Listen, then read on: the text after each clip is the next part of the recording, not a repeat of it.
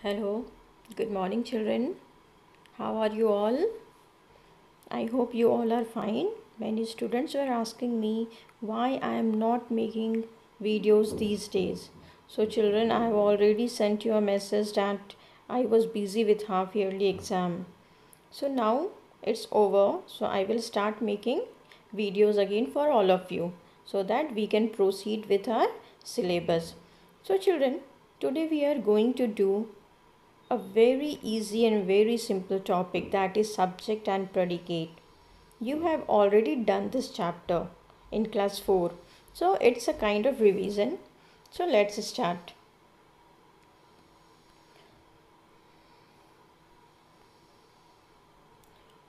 Okay, so children, before starting subject and predicate, we uh, will we will see what is a sentence.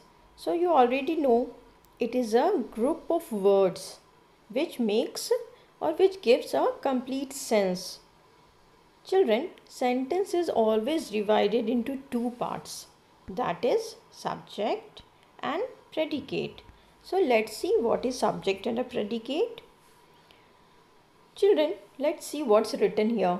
Complete sentence needs a subject and predicate. Yes, children, a sentence will always have a subject and predicate in it. What is a subject? So it tells who or what the sentence is about, or you can simply say whom we are talking about. And what is predicate?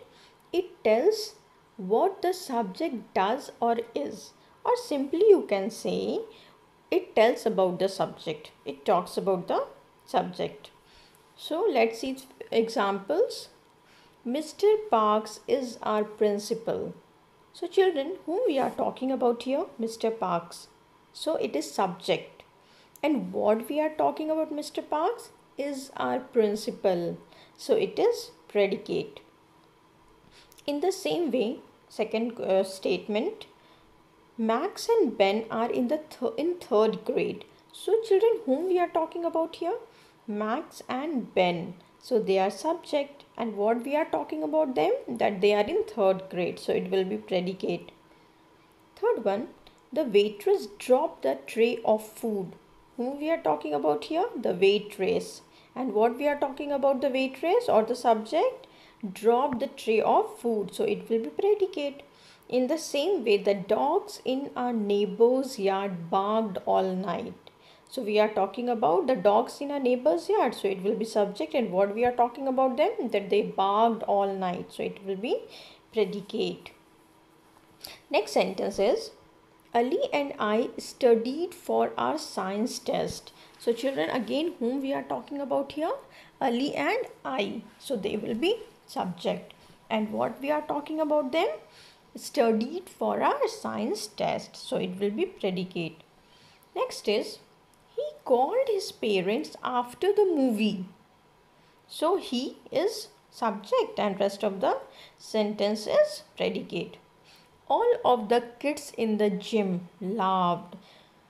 So children, can you see here? It's a mm, group of words, all of the kids in the gym. So all are subject. Why? Because we are talking about all the kids in the gym.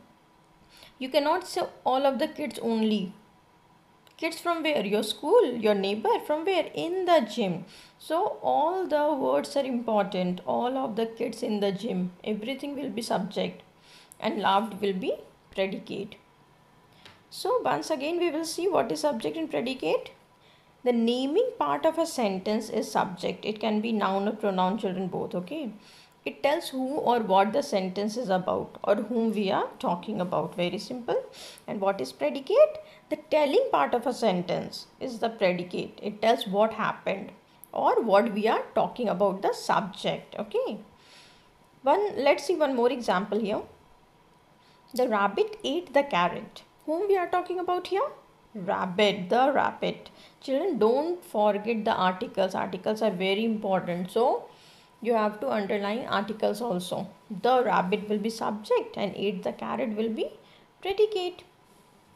Okay. Let's see few more examples children here subject and predicate tiles.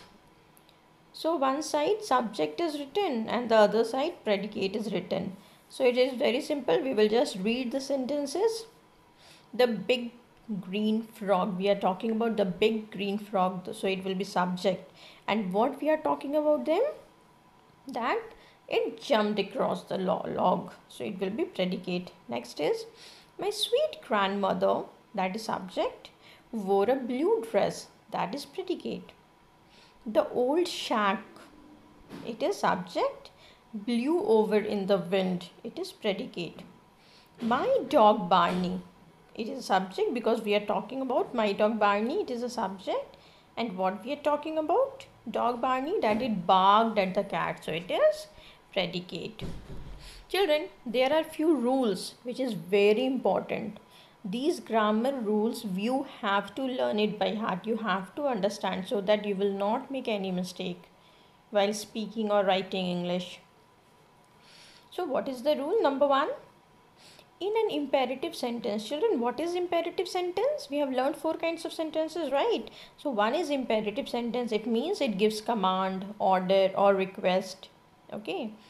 So in an imperative sentence you is always the subject. Yes children whenever we are giving order or request like come here. It is command order. Okay. So here you you is hidden here you come here. It is understood.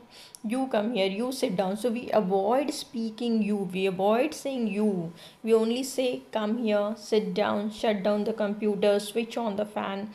We avoid saying you.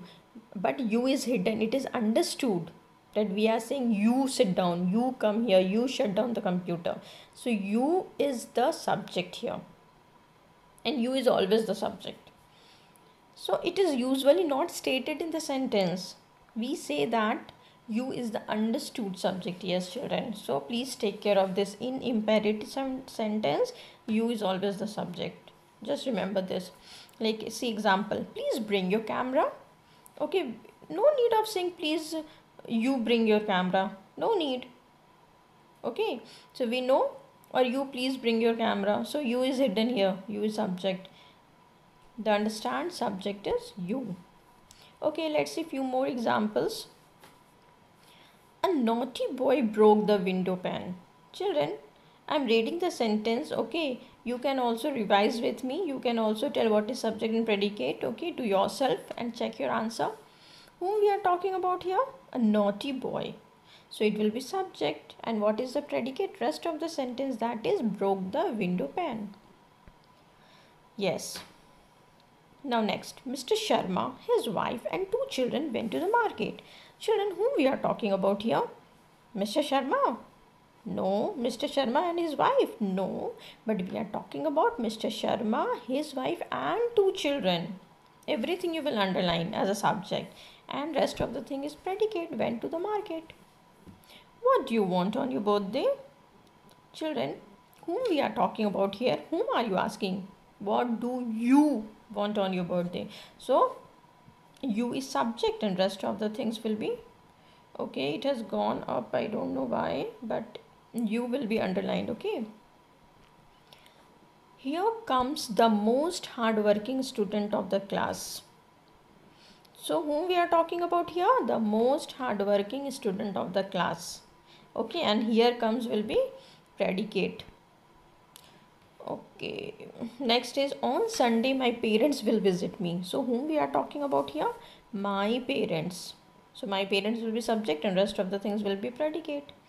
Be polite. Children again it is imperative sentence.